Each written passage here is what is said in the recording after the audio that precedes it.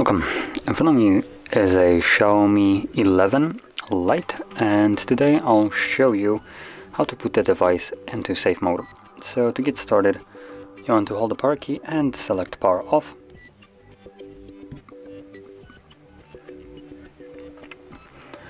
And once the device turns off, hold power key and volume up at the same time.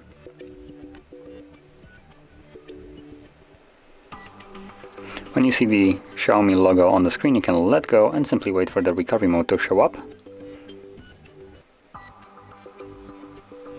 And in here select safe mode using volume keys, confirm it with power key and wait for the device to boot back up.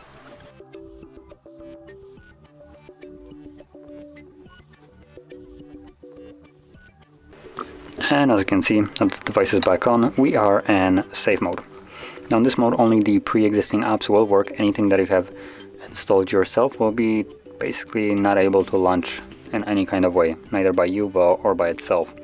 So you can troubleshoot your device now. And once you're done with this mode and you want to leave it, all you need to do is just hold the power key and select reboot, which will take you back to normal mode.